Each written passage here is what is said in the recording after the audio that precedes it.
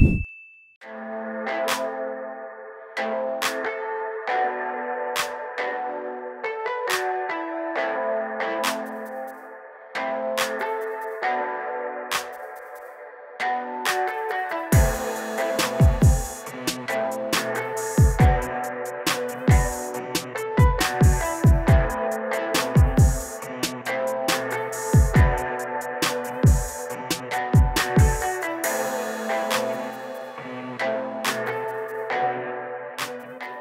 अभी क्या है कि कर्फ्यू चल रहा है तो स्थिति बड़ी टाइट है।